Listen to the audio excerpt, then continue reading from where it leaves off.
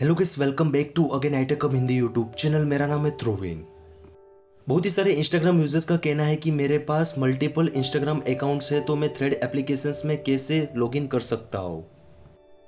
जिन users के पास multiple account है, वो सभी यूज़र्स थ्रेड के अंदर मल्टीपल अकाउंट का यूज़ कर सकते हैं। कैसे? उसके लिए सबसे पहले वीडियो को स्टार्ट करने से पहले आपने अभी तक मेरे चैनल को लाइक कमेंट से सब्सक्राइब नहीं किया तो प्लीज़ लाइक कमेंट से सब्सक्राइब कर दीजिए।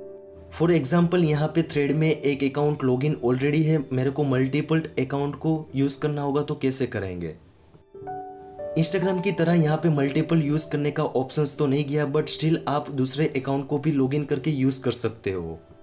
उसके लिए सबसे पहले आपको थ्रेड ऐप को ओपन करना होगा। जैसे ही ऐप को ओपन करेंगे तो आपको राइट हैंड साइड बॉटम पे प्रोफ़ाइल आइकॉन मिल जाता है। उसके ऊपर आपको टैप करना होगा। राइट हैंड साइड कॉर्नर के आपको दो लाइंस मिल जाती है। वहाँ पे आपको टैप करना होगा।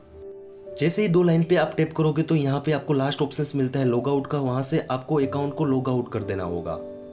अकाउंट को लॉगिन करने के बाद दूसरा अकाउंट लॉगिन करना है तो आपको यहाँ पे स्विच अकाउंट्स करके एक बॉटम में ऑप्शन मिलता है, उसके ऊपर टैप कर दीजिए।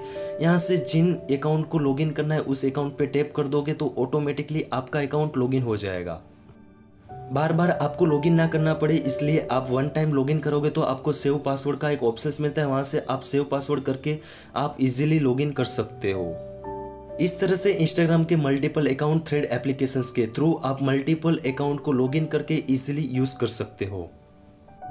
आई होप आपके माइंड में जो क्वेश्चन था वो यहाँ पे क्लियर हो गया होगा। आपको वीडियो पसंद एंड हेल्पफुल लगे तो प्लीज़ लाइक कमेंट से सब्सक्राइब आपके फ्रेंड को भी शेयर कर देना ताकि ऐसी अमेजिंग टिप्स एंड ट्रिक्स के वीडियो लाता रहूँगा। Thank you so much take care bye